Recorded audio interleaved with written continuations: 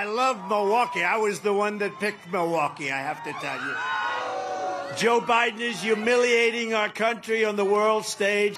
We can't get him out fast enough. I'm worried about the next five months. We could end up in World War III with this person. He's going to formally grant a mass amnesty to millions of illegal aliens that came into our country. Under this program, a deluge of illegals will be given immediate green cards and put on the fast track to rapid citizenship so, so they can vote. I think a lot of them are going to vote for me. You want to know the truth? Joe Biden wants to be the president for illegal aliens, but I will be the president for law abiding Americans, every background. We're going to have a lot of problems, and we're going to get them out. We're going to get them out as fast as we can. We're going to have the largest deportation. We have no choice.